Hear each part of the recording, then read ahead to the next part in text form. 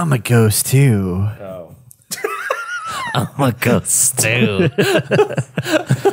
I'm a ghost too, everybody. You know why I'm a ghost? Because we're here to talk about Midnight Ghost Hunt. the same because you died. doesn't matter. It's a ghost, and this game for- has ghosts in the name. I forgot about that game.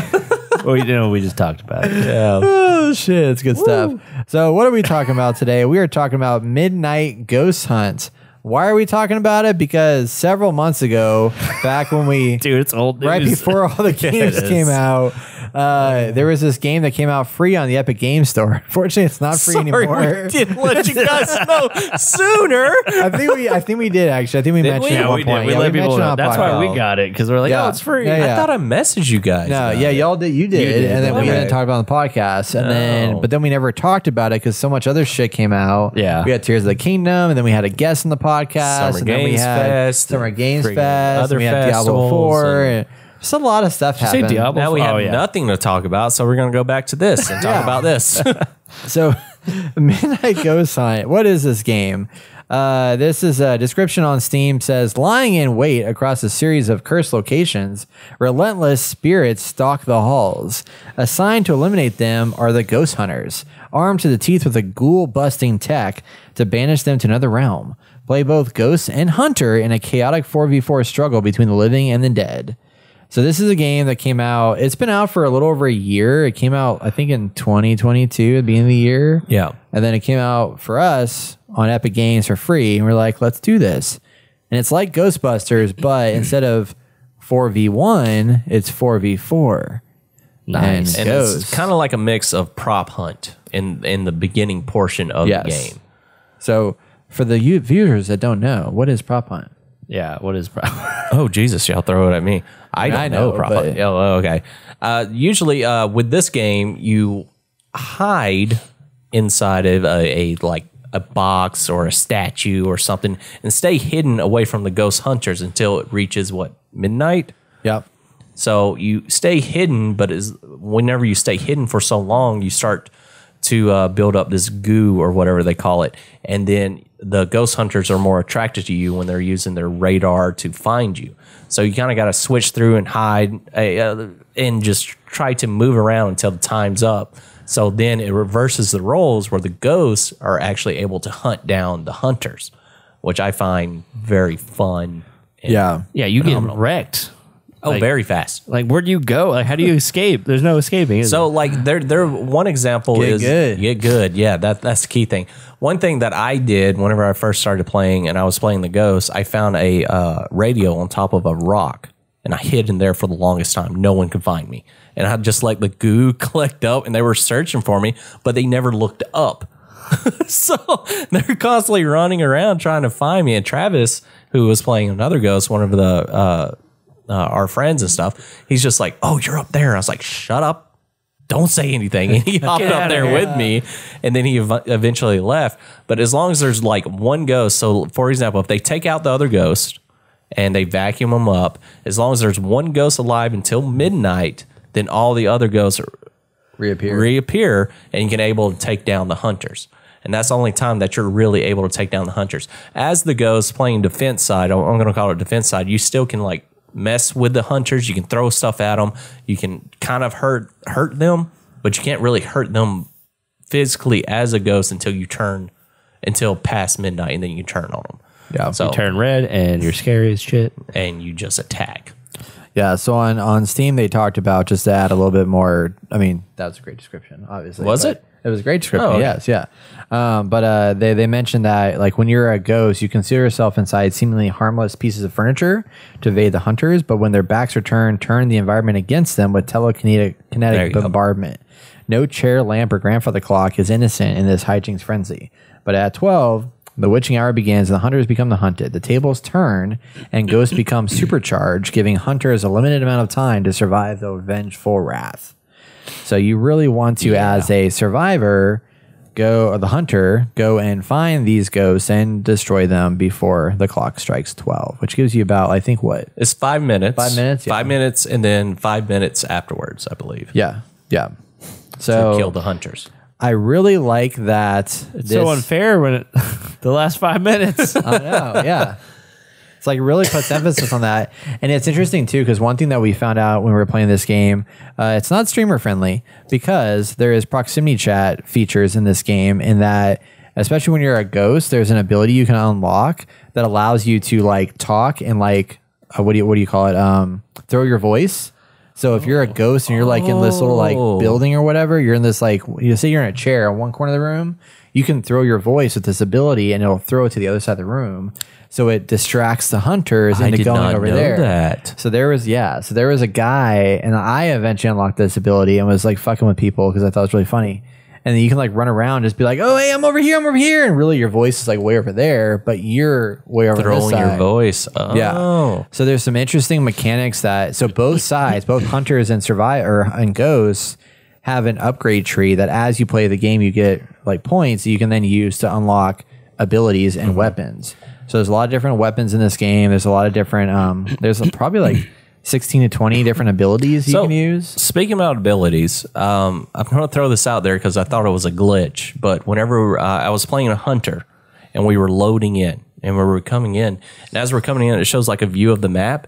And I see one of my teammates already on the map running around. and I was just like, that must be a glitch. So, I didn't say anything because everyone's talking and stuff. I didn't think of anything of it. Oh. Turns out one of the guys that were playing the ghost was able to like pretend to be the hunter Oh, that's clever. friggin' run around. So it confused everyone because I was just like, I just saw you over here, and the person took me out. And I'm like, what the hell is going on? So I was very confused. So the ghost ghosts have the ability to transform into a hunter and run around to distract and do some damage. So that I, I feel like a very um, uneven balance because it threw me off very like I, I didn't even know that was an ability. that's crazy. Yeah. I gotta say, I think initially, like looking at the trailer, watching a little bit of gameplay, being like, this actually could be better than Ghostbusters. And I think we all said that. We're like, oh, wait, you know what? Ghostbusters is dead now. Let's just get into this. It's going to be a lot more fun. It's quick. It's fast paced, blah, blah, blah. What I played, I actually think I prefer Ghostbusters better How come? because it's a longer match. I think it's the, the, with the time given. I think there's enough time for each side to potentially turn the ties and win. And here, I feel like it's it's all just the ghost Favoring the ghost. Yeah. Now, I mean, I'm sure you get better over time, and I, I haven't really dived into the upgrades or anything, and maybe that helps you track down the ghost better. But man, I just felt like you get to midnight, and wh- what do you do? The ghosts are overpowered, and they kill you in like two hits. And Yeah. they're like, well, there goes the game. Like, if one ghost can stay alive, which is fine. I mean, that's the whole point, right? But I'm like, dude, they all come back. I don't know. I think there there's still a chance because we had a game where the ghost came back and we thought we were going to dominate because we took down two and there was only one left. But the ghost was able to like outmaneuver us so much that he he actually killed us. Wait, so one ghost comes back, or they all come back? Uh, they all count. They all came back, but Okay. one ghost was able to outmaneuver us enough oh, to but kill you us all. killed everybody. You Yeah. killed the other ghosts. We killed the other two when ghosts. they're super powered. Yep. How? It, Did like y'all Brett team said, up? you just got to bruh. get good, man. Is there weapons and Yeah, well, I mean, you, you attachments can or take whatever? them down. It's there because the only, I mean, they can they can get you, but you're still stronger as a hunter. yeah, It's just there's much more advantage to them because they can- do a little bit more but damage. but they're not like they don't have guns. You know, you have guns, they don't. So you can you can run around and like you know use that to your advantage. Like they Man, just I- slash you and I've try been and running around shooting these guys, and I'm like, fuck. Yeah, Yeah. Just got to, whenever you know it's like after midnight, you just got to keep that distance between you. Because the only thing they can do is come up and hit you, Yeah. unless they have some kind of special ability or like throw shit at you. But you got to keep that distance. And that that's the key thing is the distance whenever that Yeah. happens. I really think though that this game, um, I right now. Now, granted, I haven't played enough matches yet because like Ghostbusters when that game first came out, freaking love that game. Oh, yeah. I still love enjoy that it. game.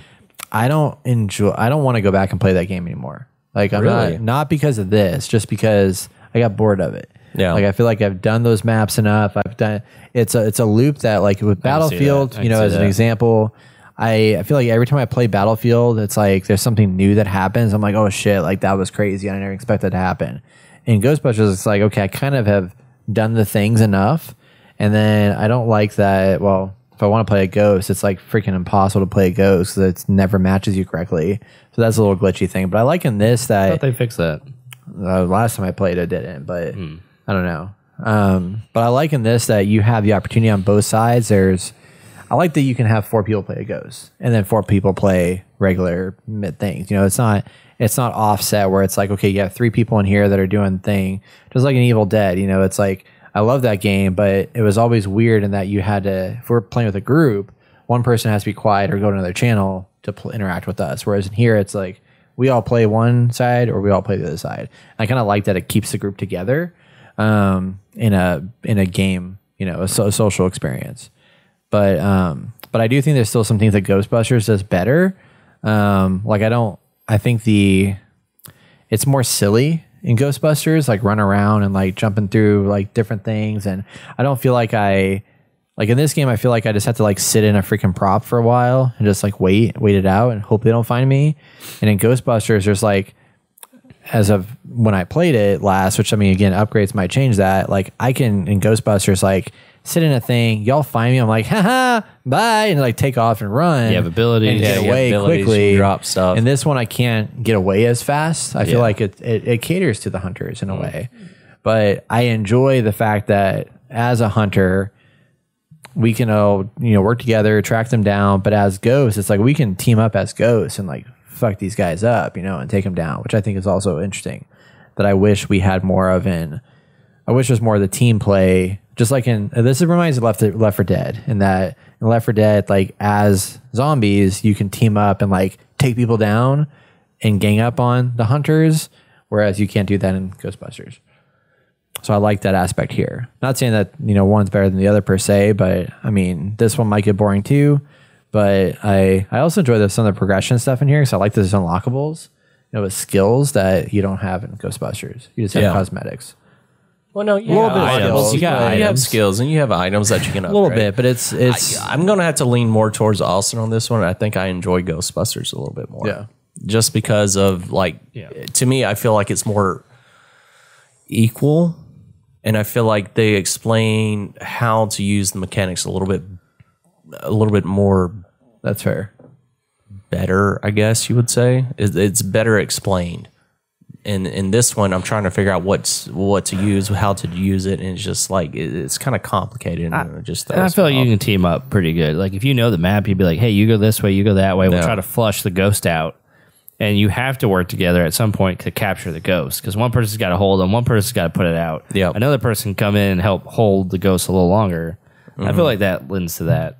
And I thought I thought this was going to kill that game Me too. until I Yeah, played same. it, and I was like, "Damn, I kind of just want to go back to that." And I was really hoping Same. because I felt like Ghostbusters was on its way out. I mean, it is. I don't think it's being played as much anymore, but for that kind of gameplay, I think This one also felt a little good. buggier, as much crazy as it sounds, because there was some bugs in Ghostbusters, but yeah, the mechanics feel better in Ghostbusters in most Yes. cases. yes, Yeah.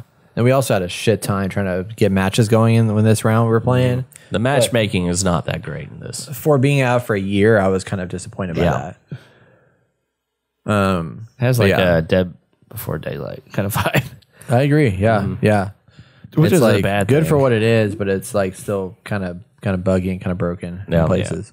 But I think the UI is really nice. I think the game looks really good. Um, there's a lot of cool mechanics in here. I kind of wish we could just like merge the two games together and like add some of the character and fun, of moment to moment fun and Ghostbusters into this game. Yeah, And you have a pretty good combo, but you don't have that. oh, you can move around in this too. That's Yeah, you can. Yeah, you can move around the little little things. And didn't play the ghost.